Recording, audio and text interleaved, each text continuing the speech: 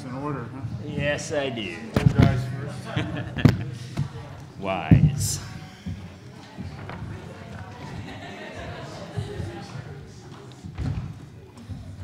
Well, good morning, and if I could uh, welcome everyone to the National Press Club. Um, my name's Frank Cilluffo. I have the privilege of hosting today's event uh, with um, six former Senate confirmed deputy secretaries of the Department of Homeland Security. Uh, it's uh, pretty awesome. Uh, you've got the, the, the brain Did power. Did you interrupt that applause? Please go.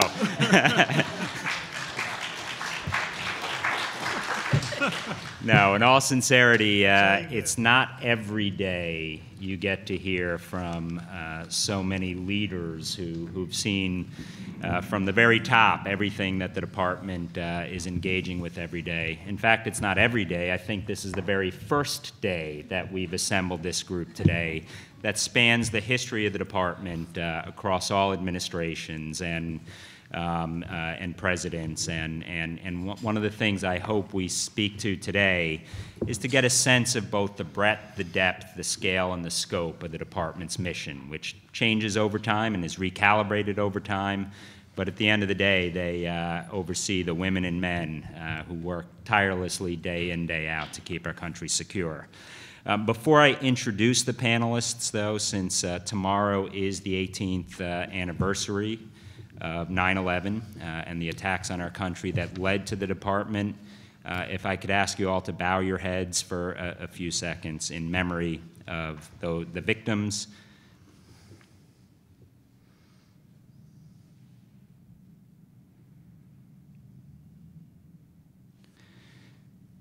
Thank you. And uh, I think we'll also have an opportunity to celebrate the hard work of the women and men who've uh, kept this country secure. So I will very briefly introduce everyone. Uh, and as you see, they're in chronological order. Uh, uh, first, Youngest um, we've got Admiral Jim Loy. Uh, Admiral Loy came to, to the, the Department of Homeland Security at its very genesis, uh, served as Deputy Secretary, previously served as Commandant of the U.S. Coast Guard, uh, one of the component agencies, one of the 22 that made up the department, and was also in a critical role uh, for transportation security at TSA uh, just prior to becoming Deputy Secretary. Next, we have uh, Deputy Secretary Michael Jackson, uh, also served in the Bush administration, uh, came to uh, DHS in the deputy role as the former Deputy Secretary at Transportation. Uh, and quite honestly, on the day of 9 11, I want him to take us back to that day because security became his biggest priority and uh, obviously the country's uh, biggest priority. Next, we have Paul Schneider, uh, who is also serving as uh, Deputy Secretary under uh, Secretary Chertoff. Um, and, and Paul came to the department with a wealth of uh, background and, and, and expertise from the Department of Defense, NASA, and the National Security Agency, where he ran uh, acquisition programs.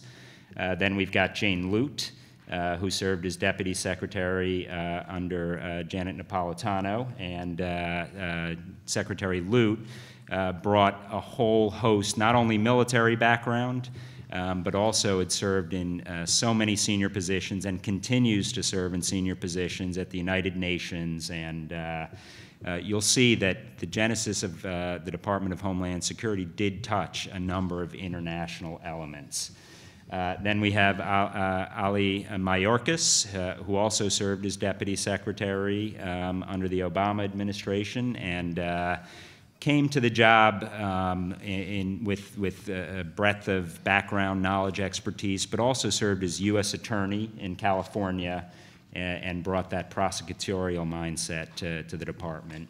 And last but uh, certainly not least, we have Elaine Duke, who grew up in, in some way uh, or another within the department's various mission. Prior to being deputy secretary, she served as undersecretary for management, uh, which I think is one of the most complex, interesting, uh, uh, and, and overarching jobs within the department. And I might note that, Paul, you too were uh, in that undersecretary of management job. So we, we've got literally the uh, the, the titans of the department here. um, that have really important insights historically. You know, we have not kept an oral history of the department, so I hope part of what we're doing there is trying to build that knowledge base uh, for future generations going forward. What I thought I'd do is with the very first question, tee it up, um, and this is a little bit of story in that oral history sort of mindset. What was, what was it like day one when you came into that deputy secretary role? What kept you up at night? What were the priorities? And uh, uh, if we can start with you, Admiral Loy. So we have about four hours. The Cliff Notes version. Yeah. Uh, uh, Frank, thanks very much, and thanks for gathering uh, this August panel. Uh, Dear, dear friends, uh, who we have all s- sort of s- stuck together in the good times and bad times over the the duration of those 18 years. Uh, I think on the beginning, uh, it was the classic startup organization. Uh, Beyond the uh, variety of ideas that uh, composed the um, inputs to what became the Homeland Security Act of 2002, uh, it was actually the second major piece of legislation that had something to do with the genesis of the department in the aftermath of 9/11. The first one being the Aviation Transportation Security Act. Um, And Michael and I both were deeply involved as partners in the creation and stand-up of uh, TSA and in the genesis of both those pieces of legislation. Uh, I would count, I would, I have always counted and said this publicly many times, that I thought the Aviation Transportation Security Act was one of the best pieces of legislation uh, that the Congress ever passed because it was very discreet, it was very straightforward. There were 36 absolute things that we had to get done with, with discrete timelines associated with each one.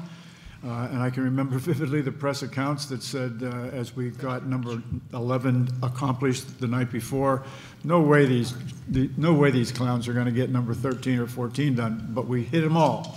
We hit all those deadlines on time in the stand-up process of, uh, of uh, of TSA. That was all about because that's what happened to our country. We were the victims of a commercial aviation tragedy. Uh, And you'll find the same kind of expertise in London about subway systems and in Spain about train accidents because that's what happened to them as, uh, as countries. But in the stand-up of DHS then, uh, the challenge of the Homeland Security Act of 2002 uh, did include some confusion along the way. There were various versions of what ought to be the legislation inside the executive branch, and we were watching on Capitol Hill as virtually every committee known to man was creating what they thought would be the Homeland Security Act uh, uh, primo uh, for, for that window of time in late 2001 once the act was passed, even then, there was a challenge associated with trying to figure out what our mission profile really needed to be and the priorities within that mission profile. Uh, I remember vividly uh, with Governor Ridge, then Secretary Ridge, uh, taking a group of about 60 people from all of these 22 agencies or pieces of agencies that were coming in our direction, and we went to an offsite and sat down trying to figure out uh, what was the mission of this new department and how were we going to go about the business of, of, uh, of pulling it off. And I remember five magic words that came out of that, and interestingly, those five magic words are now in a plaque outside the Secretary's office on, up, up, uh, at, at DHS headquarters. And the five magic words were awareness, prevention, protection, response, and recovery. And there was sort of a, God forbid, event, if you will, between the notions of preventing and protecting things and responding and recovering from things. And uh, one of the phrases that, uh, that Michael was uh, kind enough to roll onto our table in the TSA stand-up process was buckets of work. He would assign us a variety of different buckets of work to get accomplished as we put the puzzle pieces together in the stand-up process for TSA. And so as we were at that offsite, uh, Governor Ridge was uh, focused on the idea to the players in the audience, and players in the audience were these 22 agencies coming in our direction. If you do not see your work as you understand it in one or more of those five magic buckets of work, then we're going to stay here until you do. Uh, but those five words became the uh, license, if you will, for all of us to continue doing what we were doing and begin the process of trying to do other things collaboratively that had never been done perhaps by this particular gathering of, uh, of U.S. players. So the, the two things that I would uh, roll onto the table as being the most consequential from that very beginning steps were the uh, APPRR, Awareness, Prevention, Protection, Response, and Recovery, that that was in fact the scope of work that the country was expecting those of us who were being pulled into this organization called the Department of Homeland Security would get accomplished for our, for our country. A brand new organization had to deal with the relationship building process that included committee structures on Capitol Hill, bridges to the White House for policy guidance when that was appropriate, reach to our collaborators in the other executive branch uh, uh, elements of the executive branch of government, uh, and then getting on with populating this new, uh, this new, bureauc- you know, this new bureaucracy. And so working with the White House staff and the, and the HR end of the White House in terms of finding the right players uh, to put together the department staff uh, because in the meantime, we were relatively totally dependent, and that was perfectly okay, on the modal administrators, the Commandant of the Coast Guard, the Commissioner of the Customs Service, et cetera, et cetera, uh, to get on with what they routinely do, but to be doing that in the face of these five magic words, if you will, that came out of, uh, of our time together at that offsite.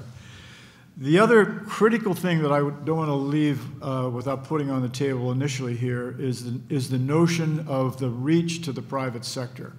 And I often believe that still is a bit of a challenge for the new Department of Homeland Security. We say new, although it's 18 years old now.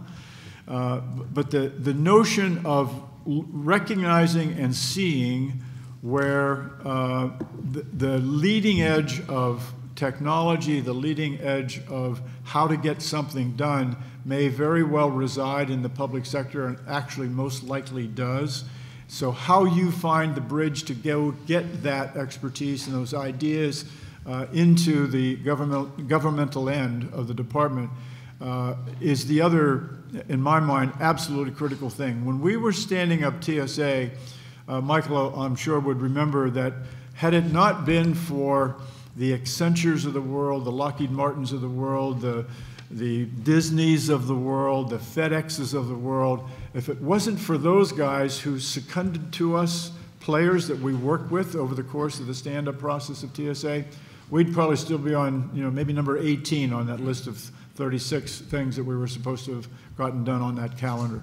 Uh, so my thoughts, uh, Frank, to, to at least start this is a beginning startup has all the earmarks in government of any kind of a startup in business or any other business. Uh, the, all those functional uh, activities had to be dealt with. But the two things that I would ask you to hold on to from the beginning was this notion of these five buckets of work that began to begin, that began to describe the scope of what the uh, department's mission was to be for our country. And then secondly, this, uh, this very simple idea of recognizing how extraordinary in the private sector lie lots of different things that have great, uh, have the potential to have great impact and, uh, and bring ideas to the forefront. Thank you, Jim. You raised a number of uh, amazing points, and I'm reminded of one of my favorite quotes of Mark Twain, whereas history may not repeat itself, it tends to rhyme. we're seeing, we're hearing a whole lot of rhyming going on, whether it's how Hill oversight, whether it's private sector engagement, notably vis-a-vis cybersecurity, uh, the five tenants. And, and you know, my mom taught me two magic words, and they were thank you. So thank you for what you did uh, during those years. Um, Michael, now, uh, sort of when, when you came in, obviously it was at a, at a different time in history, too. We have to realize the threat level was running pretty high. I had the privilege of looking at these uh, issues from the White House perch at that time. But what, what were your primary kinds of uh, considerations? And, um, and most importantly, what did you see your role coming right into the job? And, and I would like you to set, step back a little bit given your transportation role. You came in with really unique insights there. Well, uh, following Jim is always a challenge, but, uh, but uh, he's, he's, right um, in everything he said. And I will back up a little bit to 9 11 which is, uh, which is uh, the foundation of what happened to make us have to Sorry. build this DHS. And, and in the first phases after 9/11, uh, really the, what became DHS was trying to talk to each other across the government in, in a nascent way and to try to understand the risk, the vulnerability, and consequences of what we found in a post 9 11 world. And uh, so I'll go to a little, few months before 9 11 happened, the president. Uh, uh, brought all of his uh, deputy secretaries to uh, the White House and sat in the Roosevelt room. He says, I want to talk about what deputy secretaries are supposed to be doing. And uh, he said, I'm, I'm going to tell you this. You're the chief operating officers of our departments. The secretaries, they got a lot of work on, on their plate, but you have to focus on making the machine work and understanding with peripheral vision all of the all of the threats and the vulnerabilities that you have and where you can go and where you can't go and how to get things done. And he said, uh, I, I want to give you a, a, a rare sort of piece of advice which I don't want you ever to break. And that is, if, if any one of the, look at the women and men in this room, and, and if any one of them ever calls you and says, I need some help with this problem, you drop what you're doing and you go help that person. And um, so I would say the, the first part about the period between 9/11 after we'd gone to the Hill, and that, that was, that was uh, an assignment I got with a White House uh, colleague to go up and, and negotiate that bill. Uh, we really called upon the whole of the government as best we could, and it wasn't architecturally structured and legally structured to throw all the assets into one bucket and have one person have, have the control of it. But there was a, an enormous amount of cooperation and collegiality. Uh, we, we, there are a few of us that had worked in Bush 41's administration and knew that the deputies had a little um, uh, idea of introducing themselves and their spouses to each other and going to dinner every, you know, maybe once a quarter or twice a year or something like that. So we had, uh, after the COO lecture from the president, decided we were going to do that. And it turned out that we scheduled it for, I think, four days after 9 11. And uh, well, I say this because uh, what we did was we, we called upon each other to, to make the things happen and, uh, and, to, and to borrow assets. At DOT, we were the most needy place in the whole U.S. government. And uh, for example, to get planes back up in the air, we had to have uh, some, you know, faux air marshals uh, uh in, in, in, the cockpits. I mean, outside the door of the cockpits. We borrowed everybody with, with a gun in the, in the U.S. government. I mean, there were, the, I mean, you, you, can't think of an agency that didn't say, said, "Yeah, we'll send." You said borrowed, stolen. Yeah. Well, I made one of those calls that the president said I could make, and so I just said, "Hey, I need your help. We're, you know, we're flat on our backs."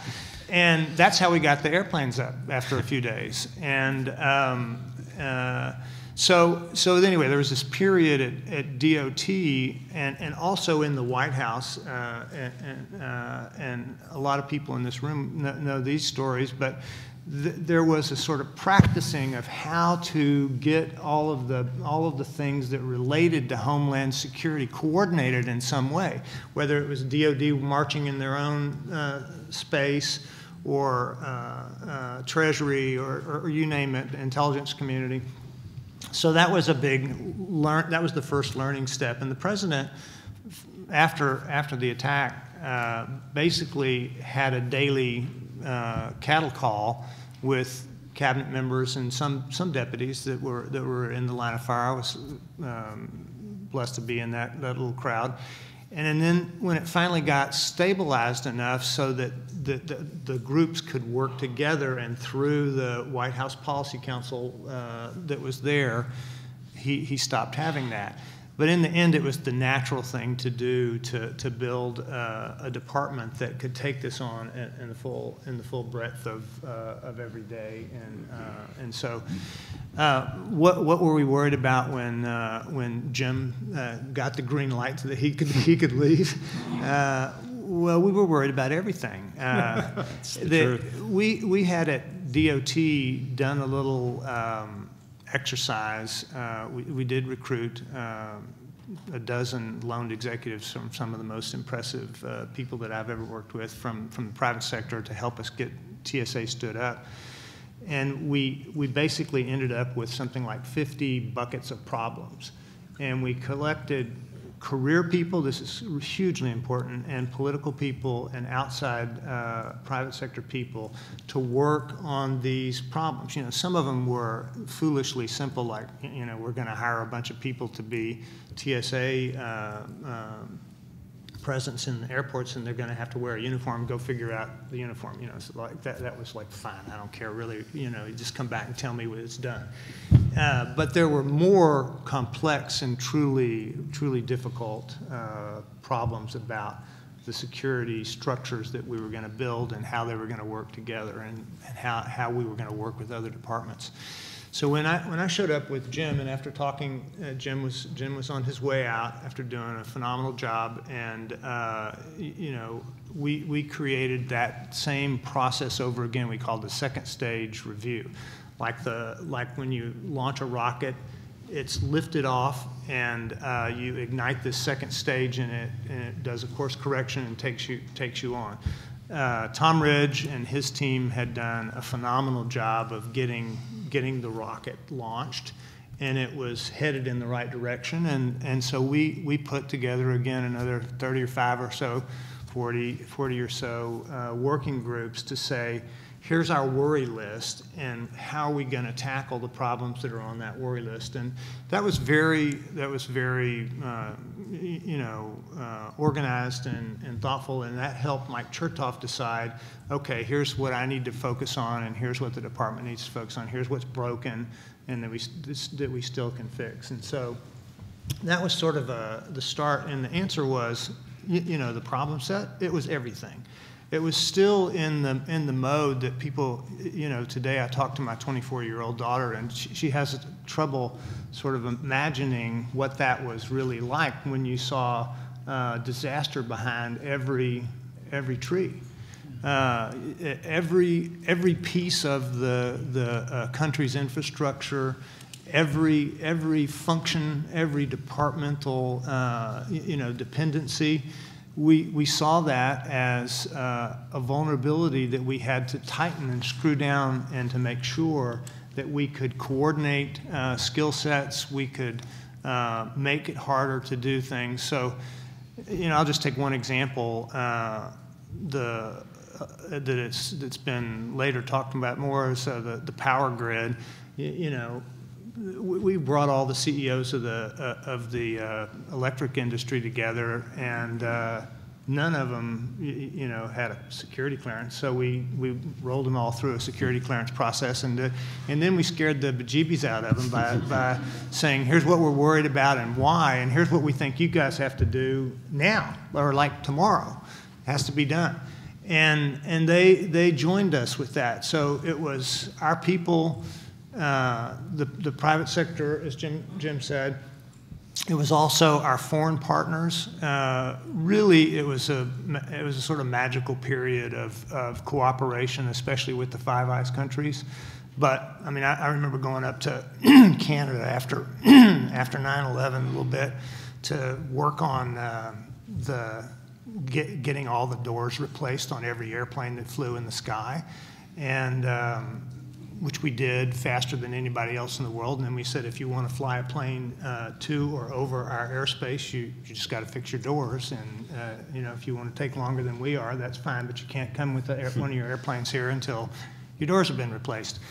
But but uh, we we had I remember with a bilateral with the Chinese government saying, "Tell me how we can help you do these things." So there was a there was sort of a global uh, governmental moment to, to try to help avoid terrorism, and and that's a that's sort of the the, the moving parts of the, the arrival at DHS for me. Thank you, Michael. And there were a ton of themes I want to pull on, including integration. And I think arguably most importantly, that Homeland Security, the broader enterprise, is much more than the Department of Homeland Security. It's state, local, territorial, tribal, it's private sector, um, and, and I want to make sure we, and of course, international, and I want to make sure we pull on that thread. But fair to say, building that airplane mid-flight, getting it uh, on a course. The 2SR was uh, bringing a risk-based approach to the department or trying to get our arms around an endless number of threats, uh, uh, endless vulnerabilities, limited resources, and how we can start uh, uh, battening that down. And then, Paul, you, you, you, you came in uh, immediately following uh, Michael, and I, I'd be curious what, what kept you up at night, and what did you do differently, if anything, than your predecessor? Well, well, first, because I was the Undersecretary for Management, I had the opportunity to learn about the department under Michael. And because of the nature of the job, while I was not involved in the uh, actually operational law enforcement aspect, I got heavily involved because Michael dragged me in in a lot of the uh, relationships internationally between Canada, the UK, uh, and, uh, and Mexico, as well as uh, a lot of the things we did covered all of the operational components. So I had a significant leg up when I became the deputy secretary, A, because I knew the headquarters, but more importantly, I knew all the operational components. One of the things Michael did was uh, every week get all the heads of the operational components together to start working together on common issues and things like that. I frequently attended those meetings. So I was a known quantity to the heads of the operational components, which made it basically a little easier since, say, the first day I walked in as the Undersecretary for Management, where the only two people I knew were Michael and Elaine Duke. So, um, Good company. Huh? yeah, Who you stole from TSA? yeah. So, uh, so uh, in a lot of ways, uh, a lot of the uh, structure that had been put in place by, by Michael uh, and, and the secretary, we, we just worked with it. He, he fixed, frankly, a lot of some of the bureau- bureaucracy issues that made streamlined it quite a bit. So my, my job was really on, uh, heavily uh, focused on a couple of pieces. One, the operations, kind of improve on, on what's been set up. And when I say that is, uh, in about seven months, we were hit with one major disaster after another. And, uh, you know, uh, Michael suffered through Katrina. I had, uh, frankly, worried about one disaster after another in New Orleans, in Texas, uh, uh, ice storms, floods, and then we had the massive wildfires out in California. Seems like that happens every couple of year, year, year or so. So what we did was really kind of, yeah, yeah. So what we did was really improve on how we basically uh, operate between uh, the secretary with a flyaway team, uh, with uh, the deputy in FEMA and myself coordinating the federal response. And we had a little bit of extra help because you can imagine the president uh, was uh, very sensitive to these types of issues after Katrina. So while I would be at the uh, control center at FEMA, you know, we'd have everybody on the VTC, and then you see the president from the White House waving to everybody, or sometimes coming over. So the coordination, uh, I think we helped kind of refine that and carry that uh, a step further. Uh, cyber the whole cyber initiative started to come together in Michael, the end of Michael's uh, time and really became full blown when I was there. This was when the president decided we've got to do something about cyber, and that's because the, uh, the director of naval, uh, director of national intelligence, a former uh, Intel Navy three-star, convinced him of such, and he was he, he was right to do that. Uh, the problem was how do we execute one? So when the president signed the executive order, the president said to, to uh, Secretary Chertoff, Mike, you, you've got this. So I'm walking out of the steps of uh, the White House with the secretary, and I said, "How are we going to do this?" You know, uh, I mean, uh, you know, that, that's not exactly uh, DHS is not exactly a home for people with uh, that type of capability. So we really had to work hard on getting that thing uh, uh, uh, set up. And, and it's very difficult in its formative stage because that's where you really need the coordination across the entire federal government. And I guess, uh, you know, Frank, you're going to talk about that later, but that was absolutely instrumental to making sure you could get something done. The other thing I worried about uh, a lot was the intelligence. And so uh, anybody that has you know, read the 9/11 report knows that the, uh, one of the big failures was the uh, ability to connect the dots. And, uh, and so uh, one of the things that the Secretary and Michael did was, I don't know how he got there, but they uh, hired to be the Undersecretary for Intelligence a, a, a fellow who came from the intelligence community, who the Washington Post had frequently referred to as a legend in his time.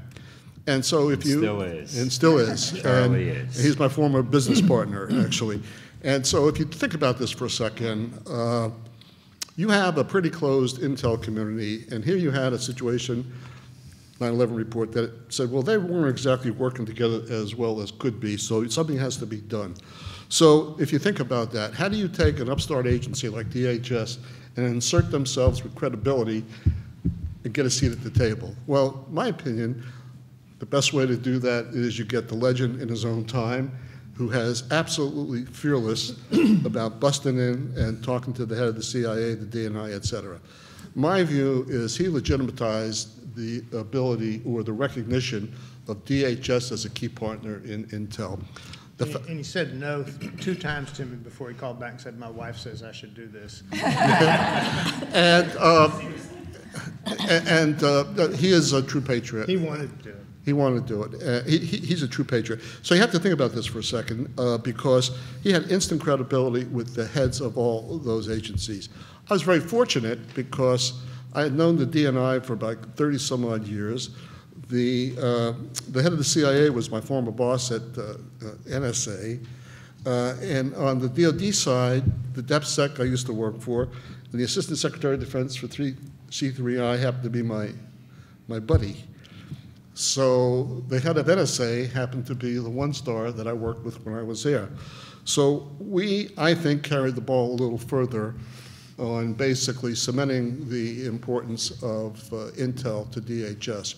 The other thing we did was, Can I, can I just stop? We- We, we should come back and talk about career versus uh, uh, political, but what- Absolutely. What you just heard out of, uh, of my friend's mouth here is that he brought a lifetime of career civil service and military uh, service to. And To our relationships. department. And relationships. relationships. And he understood how to synthesize that with, with all the things that we had to face that were new. yeah. The other thing, I think, uh, one of the things I knew when I walked in the job was I had a defined period of time to work. And that's because it was going to, the administration was going to end. So that brought with it a whole other set of challenges that uh, one usually doesn't have. Uh, Number one, how do you transition, how do you transition a department that didn't exist? when literally the heads of every one of the agency, agencies and about 25 or 30 political appointees are going to walk out the door on January 20th. Not a simple thing to do. And, uh, and so I was very fortunate because uh, my response to that was, I'm just going to give that to the Undersecretary of Management. Him do. And, uh, and, uh, and, uh, and so uh, we, the department spent a tremendous amount of time on this.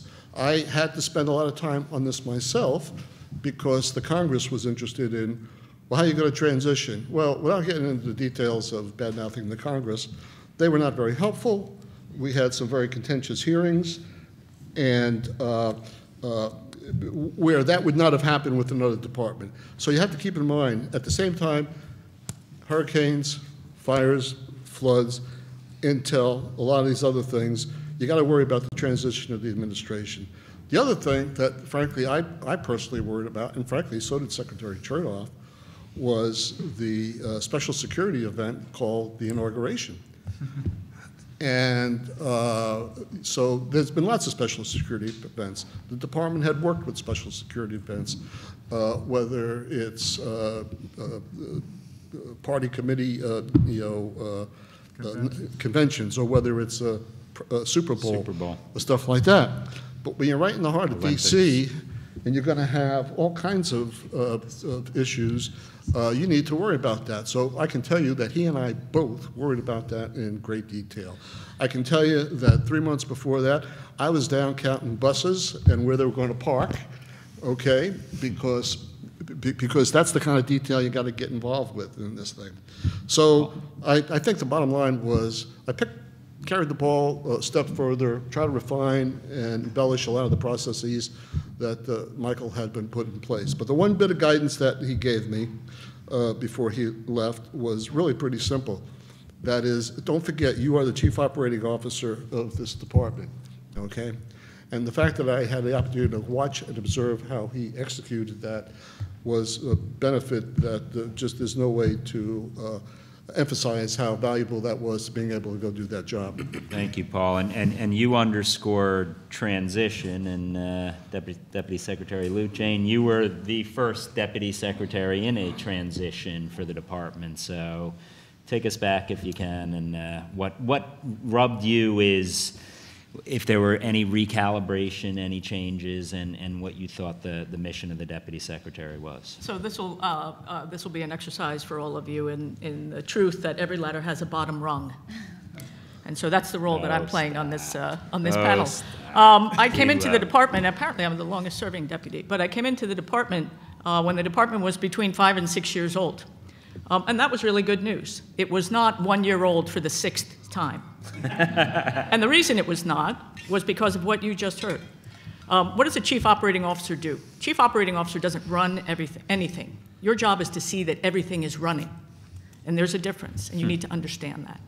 And the other thing I learned when I, when I got to the department is that most everything anyone knows about Homeland Security is wrong. Because most people compare it to national security. Most people come out of the DoD world or the intelligence world or the national security world. In fact, I had myself, I spent 32 years in national and international security. Um, and I got to Homeland Security, and it was a whole different cat to me. And I found out that everything I thought I knew about the role of the federal government in dealing with security was wrong.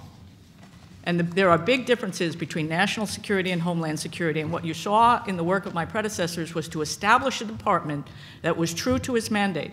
In national security, Washington, the president, is the national command authority.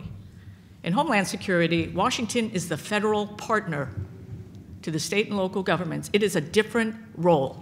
Your relationship between the, between the public, government, and fear is very different. There are a lot of pathologies that exist in the national security world, one, and, and particularly in the intelligence world. Paul talked about it a little bit, so did, so did uh, Michael and Jim. One of the pathologies in the intelligence world is that, you know, the harder a piece of information is to get, the more valuable it must be. Well, we actually found out that streetcar vendors in Times Square, New York, have pretty valuable information if we just listen. Oh, yeah. National security is strategic, it's centralized, and it's top driven. Homeland security is transactional, decentralized, and bottom driven. When Paul mentioned cybersecurity and the whole cyber world, can you think of three less useful words in the English language to describe the internet and today's life online than strategic, centralized, and top driven? I can.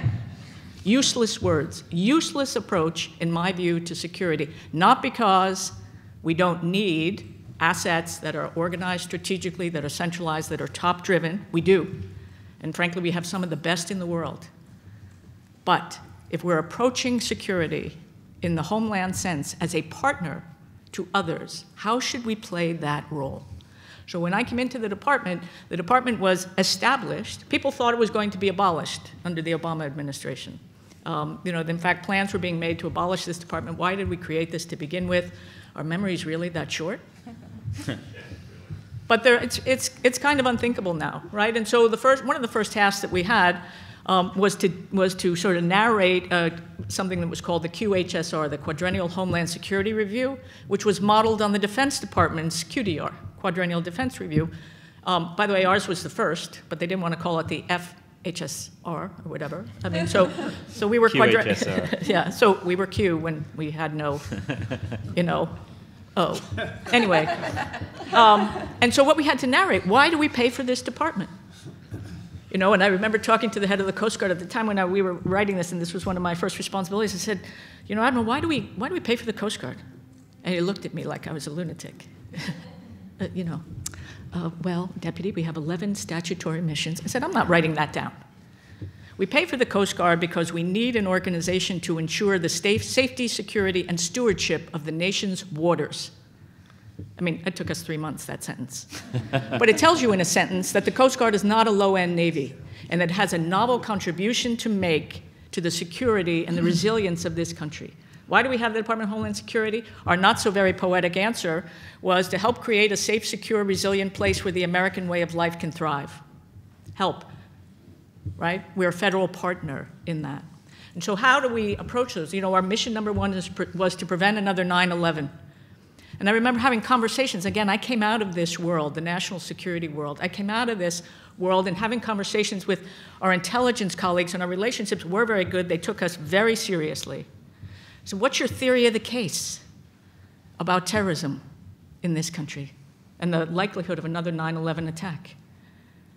And I said, okay, look, let me tell you what I think, I think your theory of the case is. The bad guys are out there trying to come here. You know, and so we have to, how do we deal with that? We have to find them and fix them, in a military sense, keep them abroad. So you've got bad guys out there trying to come here. And our job is to find them where they are and keep them where they are, keep them far away from us. What tools do we have? We have an enormous intelligence capability. We have our military that was deployed um, actively still, uh, you know, at that time.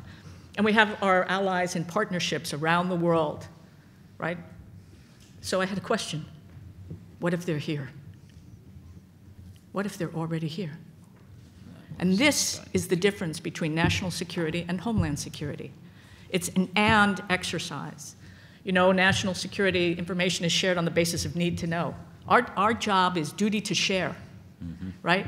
You know, they organize and execute operations on the national security side with unity of command, right? We do unity of effort. It's a different model, it's a different approach. Um, uh, Paul and, and Michael and Jim also mentioned the importance of the private sector. Unbelievably important. We have an ability to work with the private sector. We have an ability to have a conversation with the private sector um, on behalf of the, um, figuring out what should the role of government be. When we think about the problem of cybersecurity, I don't do anything that's hard. you know, Jim had five, five um, magic words, and they are magic words, and they mean a lot. Um, but when I think about cybersecurity, you know, it, I boiled it down to sort of three questions that we were trying to understand. How do we architect systems we can trust from components we can't? How do we safeguard the integrity of our information and our identity in an open internet? And what should the role of government be? Those were the three questions. And, and you know, the problem of security in cyberspace was really a challenge for the federal government. It's a challenge for any government. Why? Because governments are used to having the assignment of security. And that's what you saw building up in the Department of Homeland Security. We want safe streets. Governments, you run the police. We want a safe country. Government, you make the laws, you run the military. And so governments are used to not only having the assignment of security, they're used to being the monopolists in security. Except in cyberspace. They don't have that assignment, they don't have that role. So we've been trying to figure that out. And it was, as Paul said, it began uh, with them. And it was, it was really instantiated and, and, institutionalized to a large extent. We continued that work.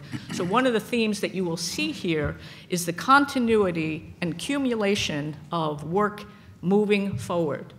The department at its outset, because of it, 22 agencies coming together, was unauditable. We achieved a clean audit opinion, and we've sustained that. Okay, does that matter? It certainly matters. You'd like to know where the money's going. DOD, call your office.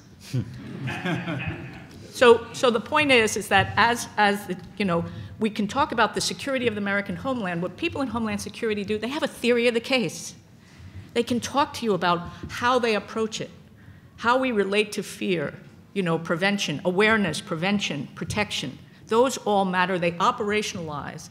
And this, I, I'll conclude with this point. Homeland Security is an operating agency. It's an operating agency. Washington really does not understand operating agencies. It understands policy agencies and it understands regulatory agencies, but it really doesn't, in its bones, understand operating agencies. I remember um, having a conversation about the 108 committees and subcommittees in Congress to which the Department of Homeland Security reports. You know, we have 535 people who think they're experts in Homeland Security because they are. Because they are. And so this department really, if you think of it as the federal partner in a complex security challenge, it's different than national security. And I think that's the difference is a good one. Well, thank you, Jane. And you brought up a bunch of points I hope we can uh, um, get into, notably the Homeland Security meet national security, meet our nation's security. Um, yeah, it, one is the art of persuasion, the other is the science of command and control. And, and, and I think that is a huge differentiator when we look at the roles, missions, and, uh, uh, and authorities.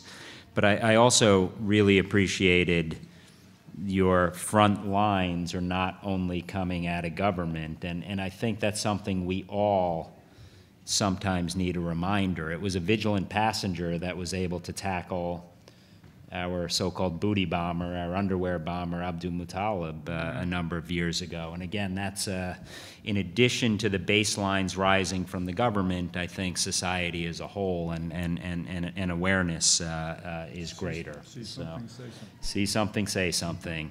Uh, Alejandro, when you came in, uh, obviously you had the, the, the privilege of succeeding um, uh, Deputy Secretary Lute. What, what were your thoughts coming in? And, and you come at- at it maybe from a little bit of a different perspective than everyone else here, having served uh, as a U.S. Attorney, um, seeing it from uh, that perch as well. Uh, what were your priorities day one?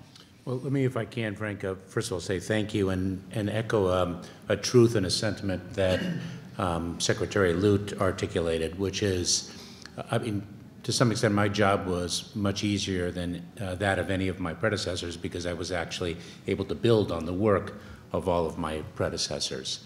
Um, and I had the opportunity to consult with them as I was just beginning uh, my service as a deputy secretary, having come from within the department as the director of U.S. Citizenship and Immigration Services.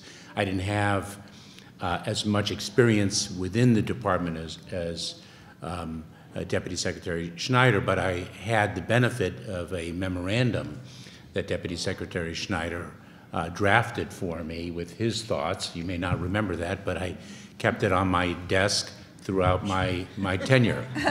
It was extraordinarily helpful. It's amazing, uh, as much as things change, they say they stay the same, because I will tell you, when one asks me, what did I worry about? I worried about everything. Um, And I remember advice that I was given by Robert Bonner, who was in 1989 the United States Attorney in Los Angeles in the Central District of California, and who hired me as a young federal prosecutor, who later became ultimately the Commissioner of Customs and and Border Protection. He said, "Ali, make sure you keep a post-it on your phone with your three to five priorities and keep your eye on those three to five priorities. And by the way, if you have five, you probably have too many. But keep your eye on them because the day-to-day barrage of what will come at you can swallow um, your entire tenure. And I will tell you, I experienced that challenge all the time. One looks back at uh, the four years, I can think of so many developments that could have sidetracked me for too long a time, and they did sidetrack me in terms of my focus on priorities for some period of time, and I made it made sure it was finite because of that post-it on my phone. An individual jumps over the fence around the White House, manages to get in the front front doors, and not only do we have to conduct an investigation, and I was tasked with leading that investigation, but we have a tremendous amount uh, of oversight, congressional oversight uh, on that. We have more than 80 uh, five committees overseeing the Department of Homeland Security, so oversight can come from many different perspectives. And so I would describe my tenure as defense against bombardment uh, uh, of issues, uh, but most of all, of course, a privilege to work with so many uh, incredible people. I think today the important thing to remember, because uh, regrettably, uh, almost one issue is dominating the public's understanding of the Department of Homeland Security, but the extraordinary breadth and wingspan of the department. When, when I started, um, we were working on the Arctic strategy. We were countering violent extremism. Uh, Secretary Lute made the important point, uh, of course, we have to prevent and protect from people uh, who want to do us harm from coming in, but what if they're already here? During uh, the four years of the Obama administration in which I served, we had a shift in the ISIS strategy, and we had a, an issue of the radicalization of individuals here, and that implicated the internet. It implicated such issues uh, uh, as encryption. Um, uh, Homeland Security grants to cities, the empowerment of fusion centers, the issue of partnership, um, the, the, the, the myriad of issues that really can consume the deputy secretary from both a policymaking and an operational perspective, uh, uh, it's, it's, an, it's an extraordinary uh, expanse. Um, we placed, uh, Secretary Johnson and I placed those myriad of issues under the umbrella, as Secretary Lute mentioned, of unity of effort. Unity of effort internally within the department to make sure that the different agencies, the 22 agencies and offices within the department, are working in an integrated fashion when their uh, work can overlap to make sure that we are not conflicting, but we're working in a complementary manner to make sure that we are united with our critical partners, our state, local law enforcement, first responder community, uh, unity of effort uh, with the private sector, where, quite frankly, I think it was alluded to earlier, we still have a tremendous amount of work to do. We have an Office uh, of Science and Technology. We conduct a tremendous amount of research internally. Is our research and is the direction in which we're headed actually aligned with the research and direction uh, of the private sector um, uh, with which we must work in complementary fashion? Um, and so unity of effort internally, externally, internationally, within the interagency. Um, uh, the department has its footprint in so many different areas, and we just have to make sure that that footprint is well defined, and once it is well defined, that it's actually burnished. I think that was the greatest challenge. Mayorkas, thank you. Thank you very much. And uh, last but again, certainly not least, uh, uh, Secretary Duke. Um, you also came in in a transition, but had the, the benefit of growing up, the departments growing up. Um, and I'd be curious what your priorities were day one, what you thought the mission was day one. And, and again, having understood the department through the undersecretary of management role, I think put you in a very unique position. Well, thank you, and uh, I appreciate the 3,472 years of experience I have here to my left. And add mine in, and you go over 4,000. Um, So, uh, yeah, I had a seven-year break um, between my role as Undersecretary for Management and being asked to come back to be the Chief Operating Officer of DHS um, in 2017. And what I uh, first looked at was um, I think the number one thing was why are we there? And there's a tradition among deputies that I think is very important for those sitting here on the table. There's a picture from 9 11 that sits in the deputy's office wall. And when a new deputy secretary is confirmed, the prior deputy secretary comes in, then signs it and passes it. And I think that's an important tradition, and I think it's our unifying effort. And I think in, in today's times, one of the things. Signatures are on the back side. Thank you. Look on the desk, look on the back side. Yeah. Um, one, one of the, the, the challenges is, is that a lot of the role as a COO is not a political effort. It may be politicized in the media and to some people's minds, but the basic Homeland Security mission has transitioned in a very stable approach all the way down the table um, through the signatures on the back of that picture and also through our actions. So when I came back as a COO, I was looking at what is the difference between what the Undersecretary of Management does as the statutory Chief Management Officer and what makes the difference between that and the Chief Operating Officer. And what it is, is it's the unification of mission support and mission towards an effective and efficient carrying out of all the DHS missions. And so what I focused on um, in, the in the short time I was deputy before before uh, being acting secretary was how do we take that unity of effort and mature it even more? When I came back after a seven year gap, I saw that the components, the operating components, had matured, in my opinion, much more than headquarters had matured. Um, it, headquarters had built a lot of great functions, a good policy function, uh, a, a, good management function, uh, a good cyber function, but that thread of pulling them across from strategy and plans through resource allocation to operations was the next phase in maturing. And um, some of the things that were set up, like the joint task forces, enabled us or positioned us to start building that operational coordination that I think is the next stage um, that, that uh, DHS is continuing to mature on. Uh, like was talked about before in Homeland Security, it isn't command and control, it's a coordination effort. And what I think we have to do, both as the COO and as headquarters, is enable our operating components to operate most effectively. We have nearly 250,000 amazing men and women in Department of Homeland Security. And as leaders, our job is to help them, help them adapt their missions. The missions are the same set, but they have changed some for instance, the synthetic opioid crisis that has really changed the way a lot of Customs and Border Protection has to act in terms of some of their customs uh, and, and trade missions. So it's the same mission, but it's an adaptation. And how do we do that policy, that resource allocation to position them to best execute their missions and adapt to the changes in the environment?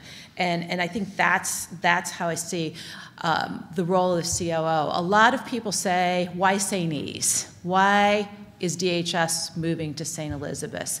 Um, this is a little bit of the oral history that Jim wants, but the main reason for St. Um, other than it was a federal site already, is to have a national operations center. There is no place for the department up until St. E's to have that coordination of command coordination of mission co- uh, execution um, to, to respond to whether to, to, to issues that are under the mission control of DHS. FEMA does have the National Response Coordination Center for natural disasters, but natural disasters was not the reason or the sole reason DHS were created. And I think that St. Elizabeth's and having a National Operations Center really is kind of, the figurehead of why DHS was corrected, uh, was created for that coordination of missions to best respond to threats against our homeland. And, and that is the maturation of DHS that, that I came back for. Awesome, thank you. There, there's so many issues here we can unpack, but the tyranny of time requires I be a bit of a tyrant in some of these, and I want to make sure we have an opportunity for the audience to ask questions. But one issue that came up by every uh, one on this panel is, is integration and uh, the issue of interagency matters, how the department and as the steward and COO of the department, you uh, are able to to work with uh, the the many other agencies, whether it's on the national security side, whether it's in Title 50 intelligence side, or whether it's uh, on some of the more uh, domestic-oriented uh, uh, agencies that don't think of security every day as part of their mission, but it is. Uh, and, just a, a, personal little vignette. Um, you know, I had the privilege of working for President Bush after 9 11, and, and I think the day you saw great integration was when the president demanded a single daily matrix. CIA had their matrix, FBI had theirs, both of which were great, but it wasn't until you had it integrated into one document that you had an appreciation for how one touched the other, or what our gaps were in collection, or what our opportunities were in, in terms of other agencies that perhaps uh, didn't traditionally have a seat at the table. But I'd love to hear the interagency thoughts, but I have one issue in particular I want to tee up, and this is between uh, uh, Paul, uh, Secretary uh, Schneider, and Secretary Duke, because I think they have different perspectives, and then I want others to chime in. But HSC, NSC.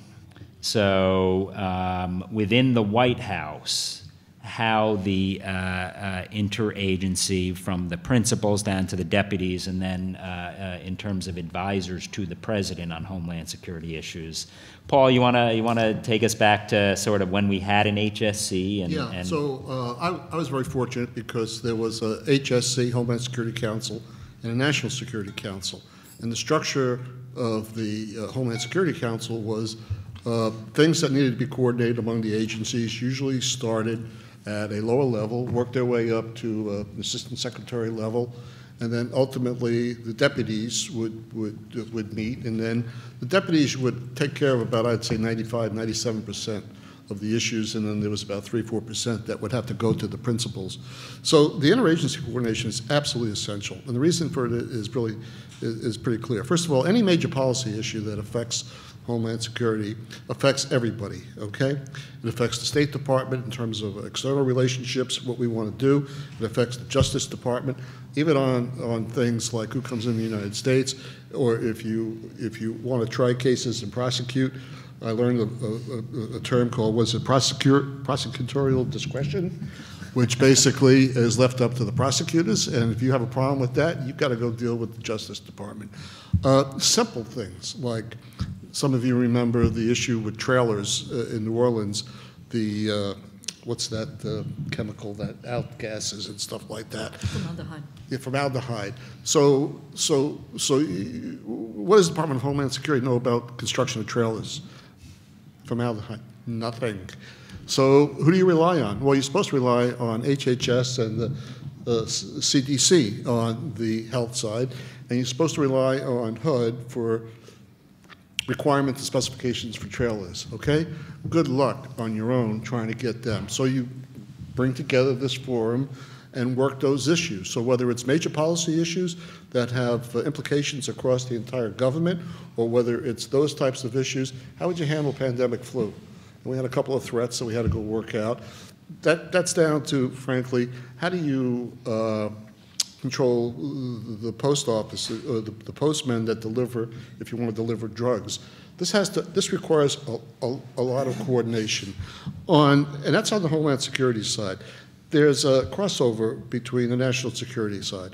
So if you have issues regarding terrorism that involves, let's say, Iraq or Afghanistan or things like that, principally, it's a national security issue. We're very fortunate because the national security and homeland security in the White House were seamless. That meant that on those types of issues from national security standpoint, Homeland Security got a seat at the table to understand. We're very fortunate because the principal operating uh, person for the for the National Security Council was Jane's husband, uh, a, uh, a great guy. a, a, a, a three-star. that's a So- power combo. so, uh, so I can tell you that on those types of things, major homeland security issues, NSC that uh, kind of rolls over to it, uh, cyber. Cyber could not have been effectively implemented in any way if it wasn't for the Homeland Security Council. And the reason I say that is this. If you have to figure out how you come up with a budget that basically takes money from every one of the departments, you can only imagine what kind of a fistfight that is, where you give everybody a knife and then turn off the lights and see who's standing. And if it really wasn't for the leadership that would make that happen, uh, there was no way to make it happen. So uh, that's why, from my standpoint, uh, it was absolutely indispensable. I, uh, some of the folks know that at the transition of the administration, uh, the uh, incoming president had made a decision, I don't know what actually happened early, uh, subsequently, but made a decision that they were going to uh, subsume the Homeland Security and the national security. So the individual that had been picked to be the national security advisor, uh, I went, second day uh, the administration, I go down to see him, and I, and I tell him, I said, look, you don't know me from a hole in the wall. This is Homeland Security. I said, but I need you to implement some sort of a uh, Homeland Security process. So, great guy, hey, look, I don't understand anything about that stuff. You know, I chased terrorists. I said, well, that's great, but you got to worry about this too. So I became very concerned, and I don't know what happened later, but ultimately, not having that, that, that policy-making apparatus of coordination, interagency coordination, was absolutely essential to doing the mission. Paul, so HSC, if you could wave that magic wand, you would have that there day in, day out. Yeah, yeah, it it was absolutely essential, and we were very fortunate because the secretary worked very closely with the, uh, uh, the head of the HSC. I worked very closely with the deputy, as I know Michael did. Elaine, I think you have a little bit of a different perspective on this. And then Jane and Ollie, I want you to sort of weigh in since it, it, that's when the change occurred. But I mean, I do think a lot of it is person dependent rather than organizationally dependent. I did see some benefits of having the NSC and HSC uh, co-joined, if you will. And one of the biggest benefits I saw was in developing the national security strategy. I think it was dependent on the fact that H.R. McMaster was running the NSC. You had Secretary Mattis, uh, Dan Coats, and Intel, and um, people that brought those years of experience, similar, similar to Paul and others. Um, but what I saw was DHS being more respected um, than, um, than, than in previous years. And it was because the traditional or legacy NSC type folks were understanding the capabilities and the authorities that DHS can bring to the national security table. So, as an example, trade, the authorities that DHS has and the ability to, to generate revenue for our country on trade infractions and enforce the, the trade policy uh, of this administration was huge. And so I saw the commingling of the two really rise the stature of Homeland Security and, and gain that understanding. But again, it was because those people were open um, to, to seeing that. The second piece that I think there was a benefit is that I think cyber and the speed of movement of goods and, and, and people has really commingled Homeland and national security a little bit more than maybe in, in legacy days. The, the fact that much of DoD's activities is really the away game of Homeland Security. Um, like, like Paul said, the, the, do we, or, or I think it was Jane, do we know if the terrorists are there or here and how are we addressing it? Um, the, the fueling of, um, you know, using drug sales to fuel terrorist organization. There is a commingling, and I think that what we have to do is we have to find the optimum point is that they are not the same but how do we deal with that nexus most effectively to bring both our national security and our homeland security capabilities together to the fight so people matter. People matter. It, I, I would really echo that. People matter a lot. Um, I mean, I have a pet peeve. You know, people call it the NSC. It's the NSC staff. Yeah. Um, I, you know, I was was trained. I was trained at the at, at the NSC staff under Brent Scowcroft, and I am an unapologetic Scowcroft acolyte on this point. Hmm.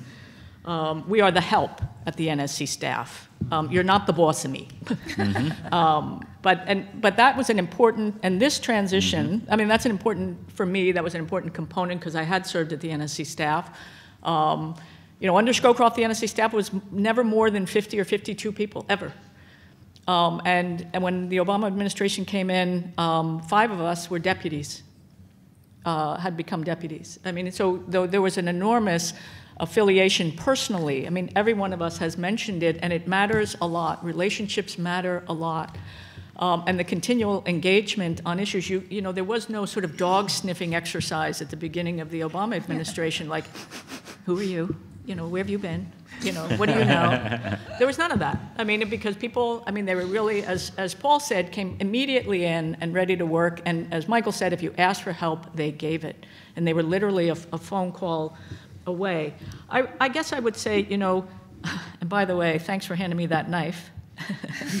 Paul walked out of the dark room, hands me the knife, and says, Good luck with that.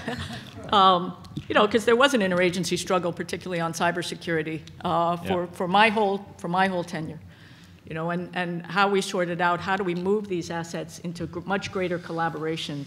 And And I think, as you've seen over the course of time, there was a maturation. There was a maturation of mission performance, a maturation of mission understanding in the, in the interagency process that was essential. But to Paul's point, um, aside from the fact that I think the NSC has become overly large over the course of time, overly operational, um, which was completely antithetical to the, to the findings of the Tower Commission right after Iran-Contra, um, and, and where the whole existence of the NSC staff and that function was really, you know, in the balance. Uh, we need the White House and the NSC staff to provide that coordinating function to bring everybody together. Small example, you know, when you're dealing uh, with the traveling public, right? Um, I was given the mission of negotiating the PNR, the passenger name record data sharing agreement with the European Union. It took us two years. It took us two years. Um, and, and there was at the beginning some complaint, why is Homeland Security doing this? I said, how many, you know, in DOD, how much of the American public do you interface with every single day? Department of Homeland Security, five to seven million people every single day directly come in contact with the department. DOD, you, intelligence community, we don't want to know. We do want to know, actually. we do want to know. They don't always know. Right? The the State Department, none of these other security with. agencies have that kind of direct interface with the American public.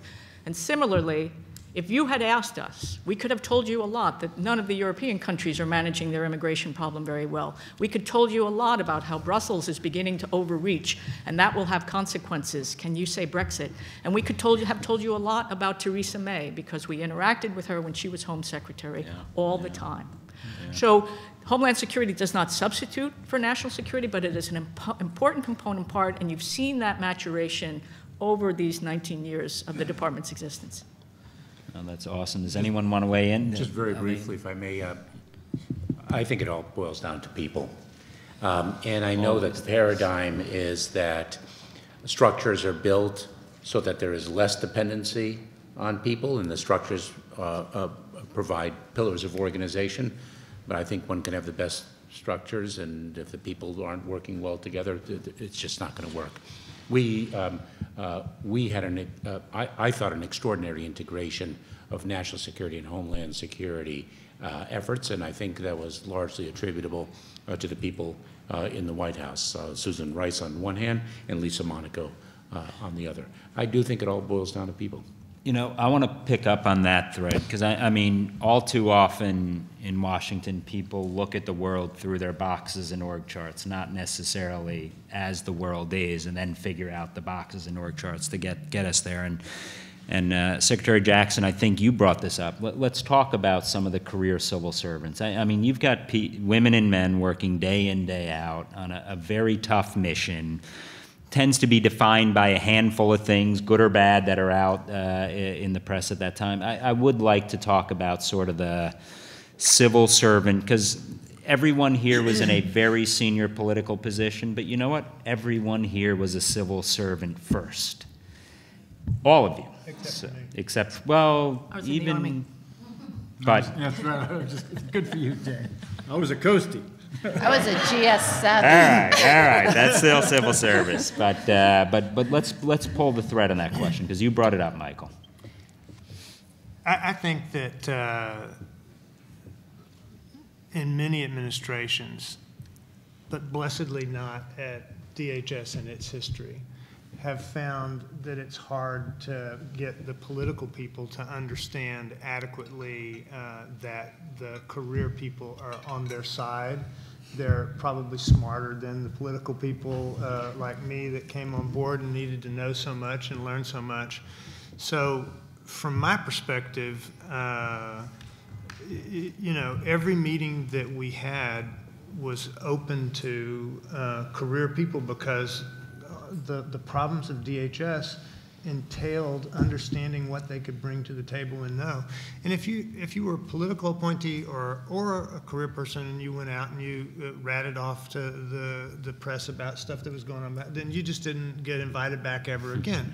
But, but I'm telling you, the, the reliability uh, performance of the career civil service was probably uh, better uh, uh, all up than was the political uh, appointees.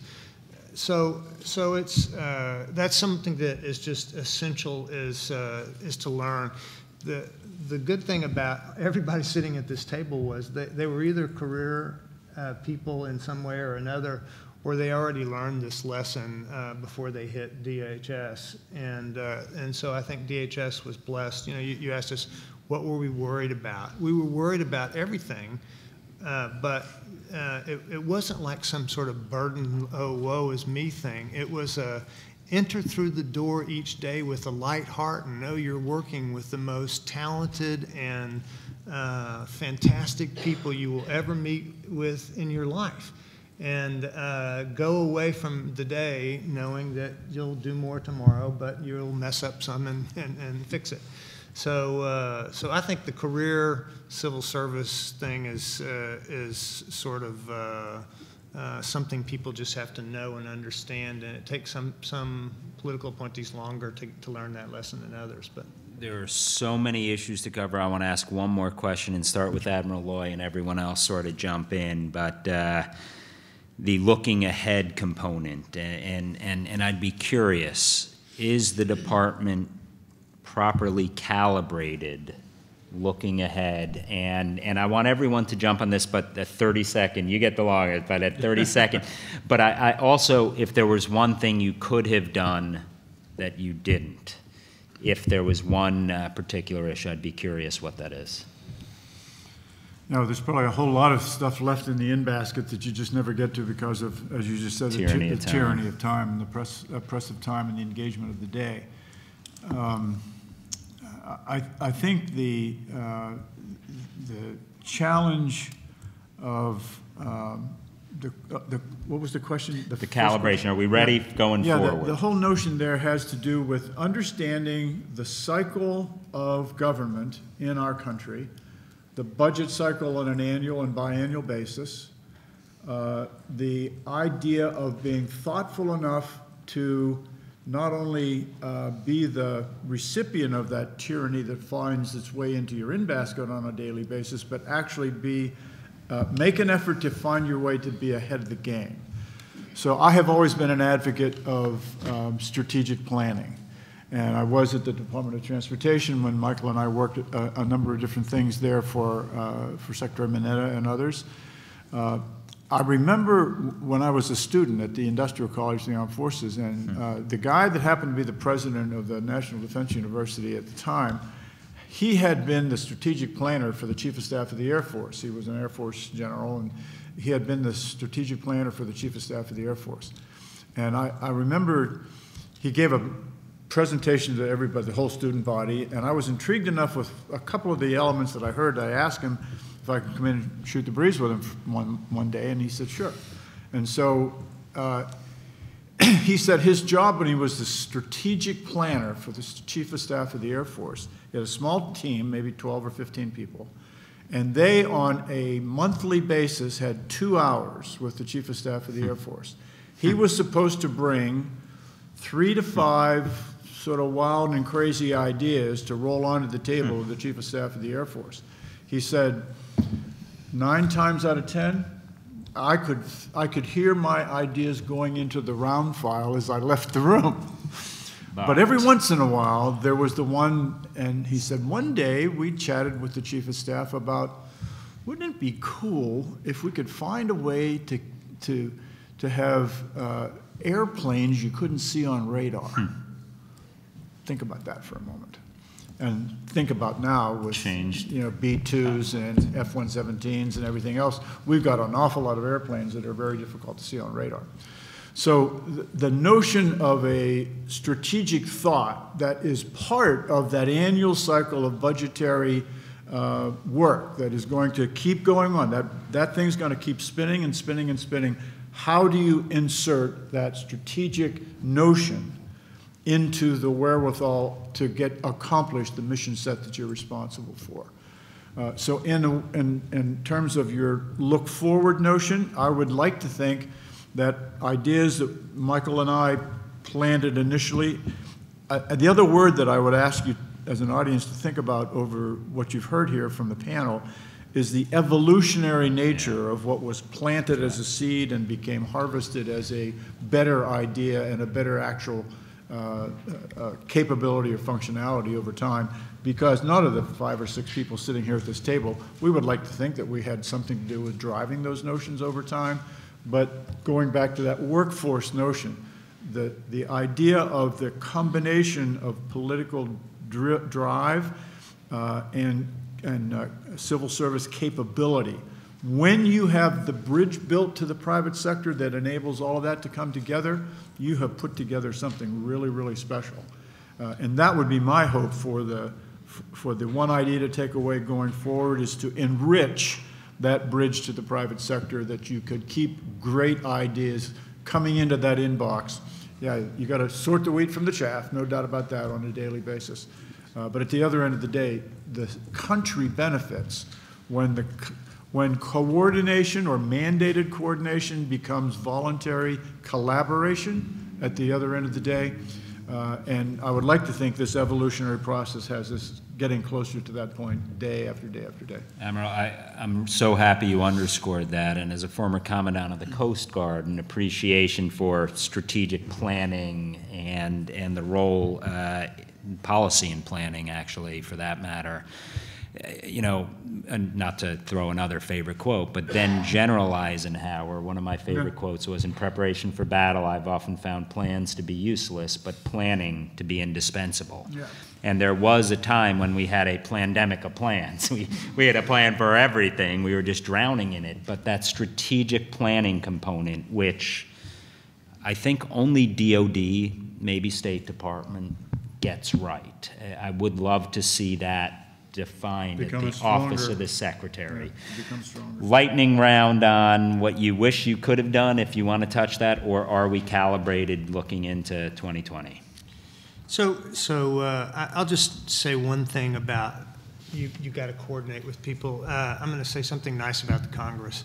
Um, Yeah, yeah. I love Congress. so. We, uh, we talked about earlier that we got things done in, in the government uh, at the deputies level by having personal relationships with those deputies. And I used to do the circuit and go around and see people before a Homeland Security Council meeting, and we'd Yeah. have telephone calls. We'd, we'd say, I- I'm going to have to oppose this, and, you know, we'd work, we'd work that through. I, I usually knew the vote of everybody in the room before I walked through the door. And hopefully, we were, we were on the same page, or else we were going to have to sit down and wor- worry through why we weren't on the same page. So that, that's one thing that you can, you really can get so much done with personal relations. Then uh, People, Congress- people, people. I've yeah, heard yeah, that a bunch. The same yeah. thing with Congress. You know, we had a lot of fights with Congress. We're, DHS still does, but these are men and women uh, who who, in in their own way, come to town to try to uh, serve the American public, and you've got to help yourself get in their brains as well. So. Chertoff and I used to go to uh, see the chairman and, and key members of each of our committees uh, on a routine basis and just, you know, sometimes we get yelled at, sometimes we'd help them understand where we were and, you know, we'd come to an agreement on things. Sometimes we'd walk away and not know uh, what, what, what to do about it, but we kept talking.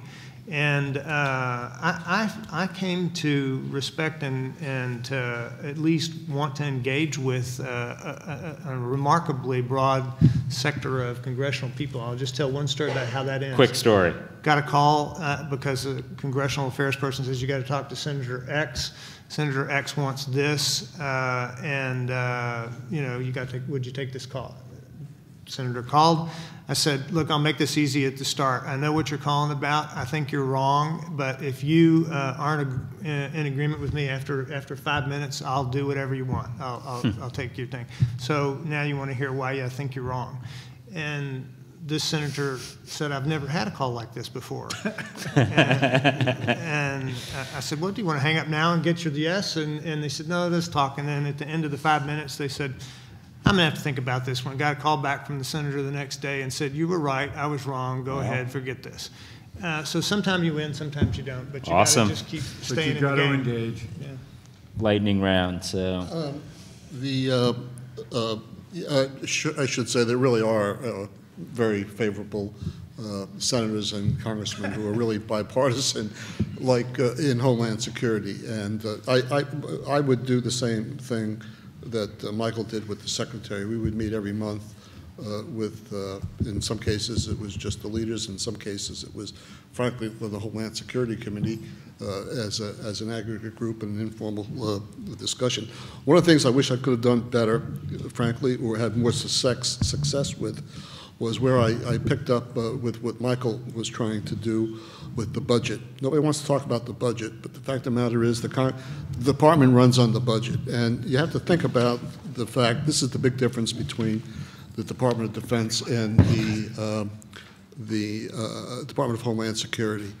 Uh, I, I think the actual budget numbers today in terms of the, the bu- after you take away fees and things like that, it's about 49, 50, 50 billion dollars. Everyone has the hand. Oh, they have the handout. Okay, so if you take a look at the, the, the- the 230 or 240,000 people, uh, it's like the Army, which is a standing army, so a big part of the budget goes to take care of, of the people, and that's fixed, okay?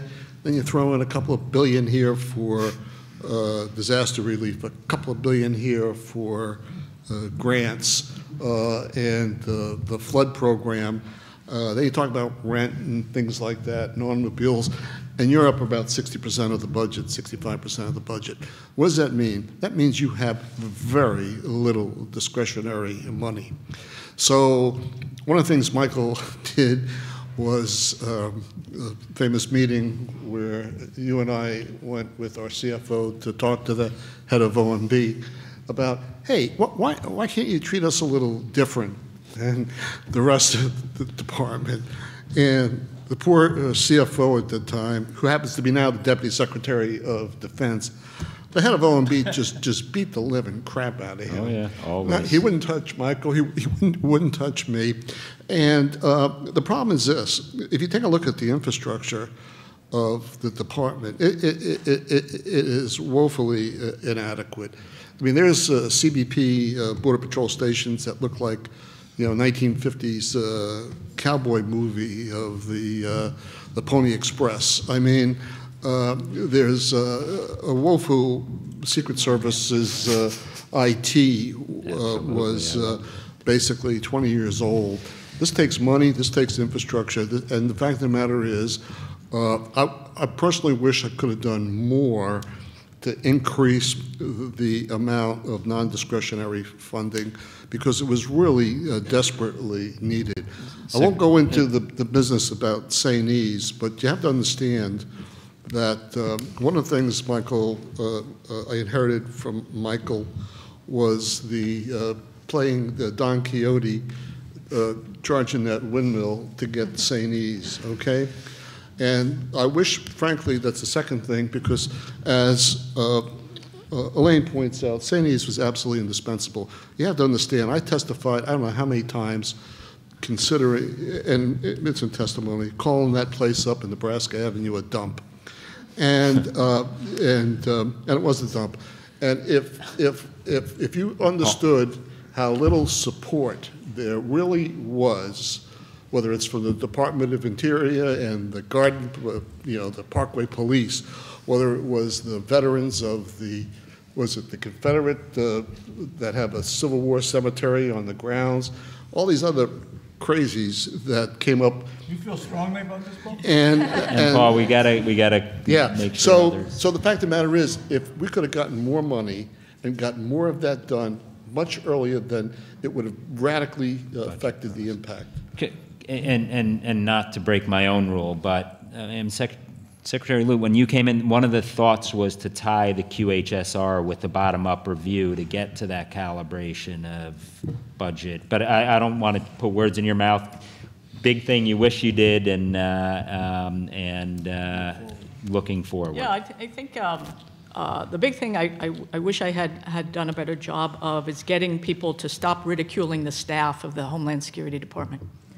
Um, it's outrageous to me. Here, here. Uh, these men and women um, work their hearts out every single day. You know, I was in the Army, I went into the Army in the 70s, and I remember what it was like uh, at the end of Vietnam and what it was like to be someone wearing a uniform, wearing a uniform overseas. Uh, I know what it was like.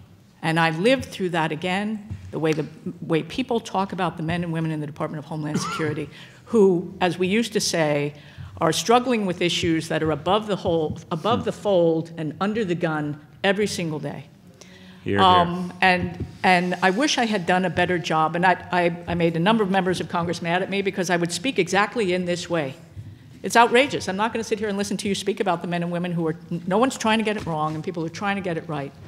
And I realize there are frustrations. We're all dealing with those frustrations. But the, the caliber of the men and women um, who are in public service, some of them in civil service, um, but who, who show up to work every single day are extraordinary. I wish I had done better because I wish I had done better in explaining the tension that exists in the missions of Homeland Security. If you look at the border, yes, we have to keep out people and things that might be dangerous, but we also have to expedite legitimate trade and travel.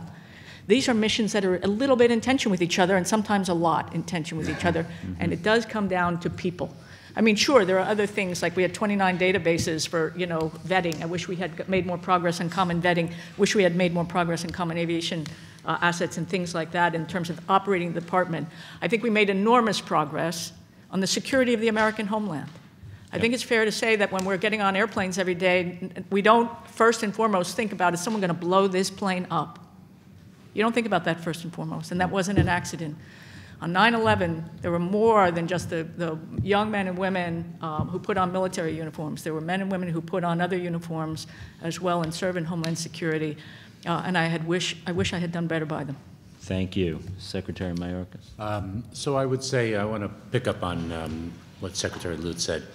Uh, uh, it- It's unfortunate, I think, and destabilizing for the department now to have quite a number of leaders uh, who are in acting capacity for an extended period of time. I don't think that is uh, good for the department or good for the mission.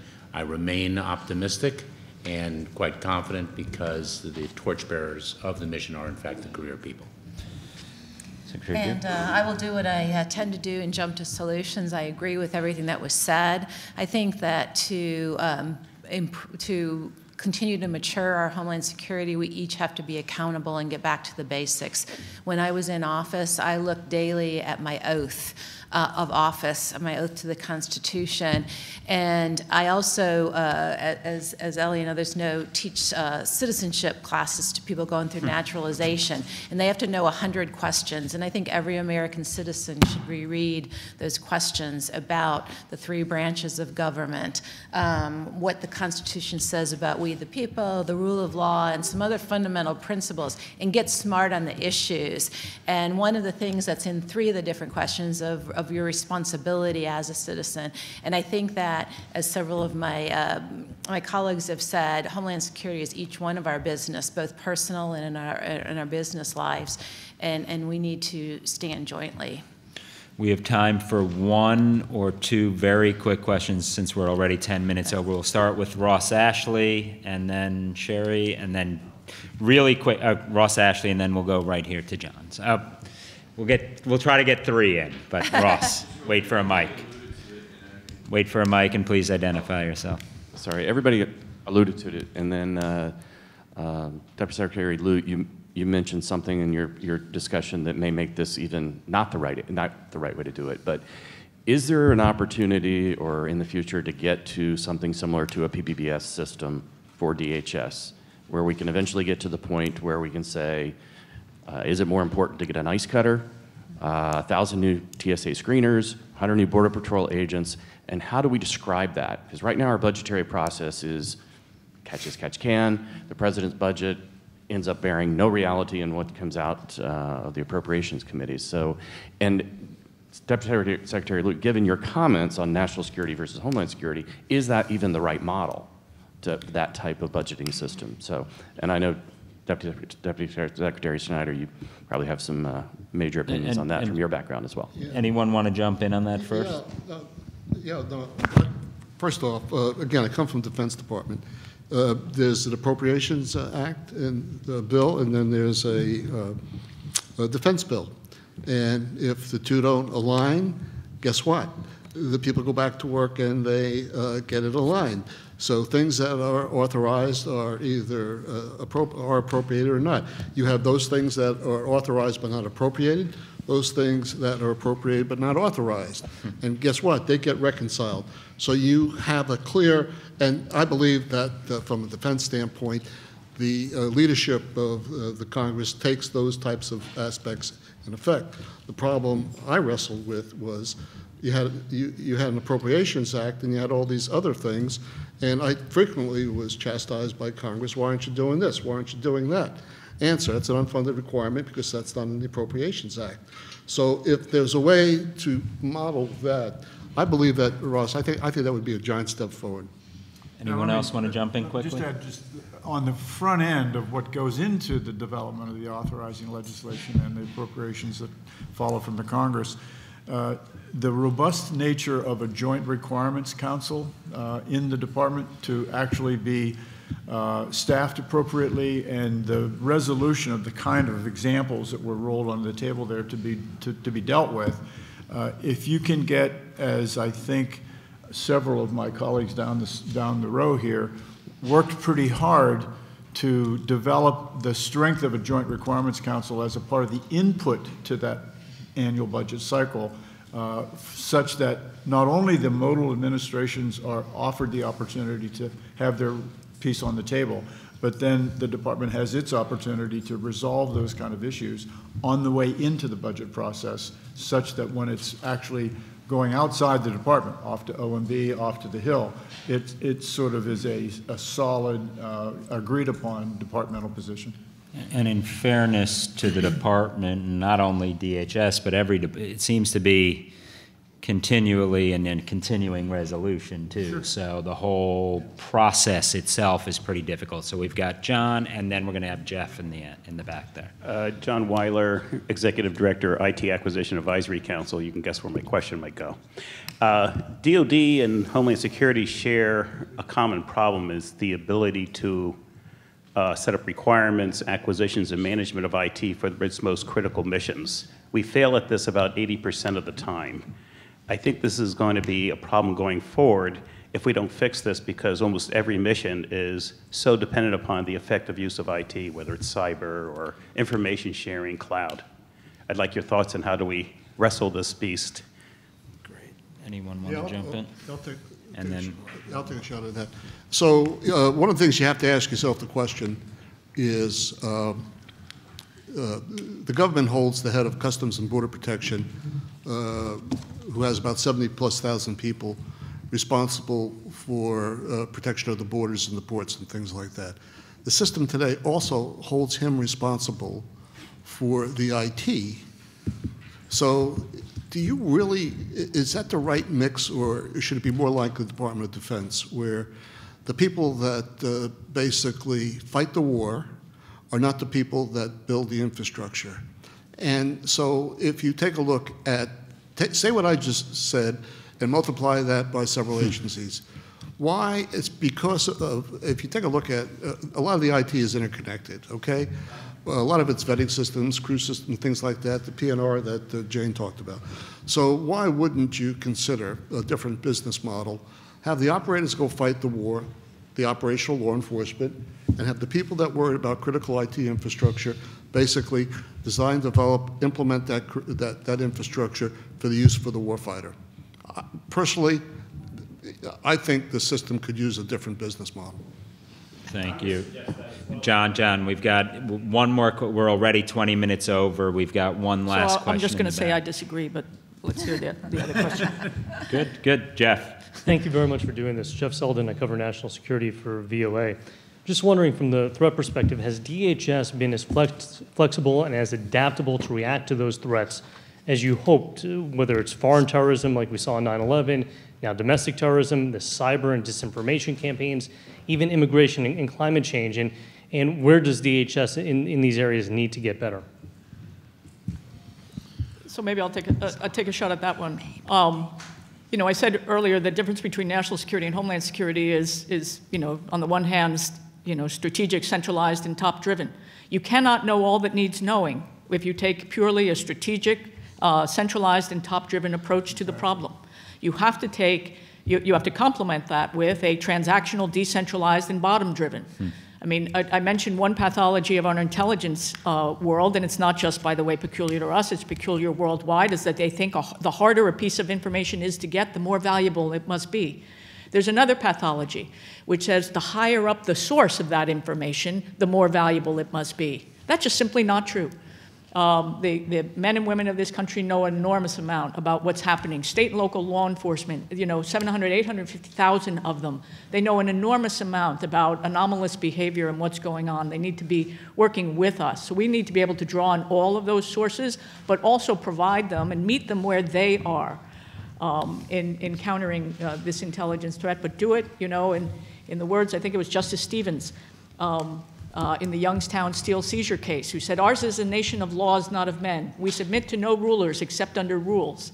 And that comes when we're assembling information and intelligence about the threat and how to respond, because our job is to protect the American way of life. Here, here. One very quick last question. I'm From Italy. I'm doing an internship here at the Italian embassy.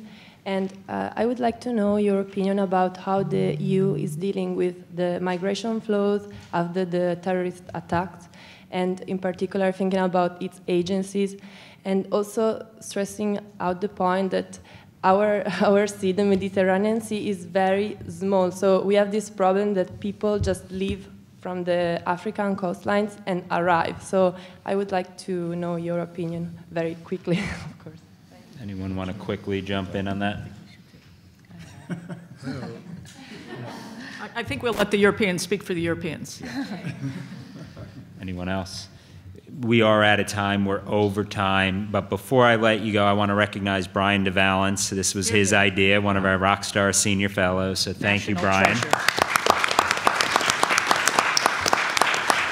And, and let me also thank, what, what an amazing group of leaders here. They, they all bleed red, white, and blue, and uh, as tough as this job is, I felt so much better that all of you were at the helm. So thank you, thank you for your service, and thanks for joining us.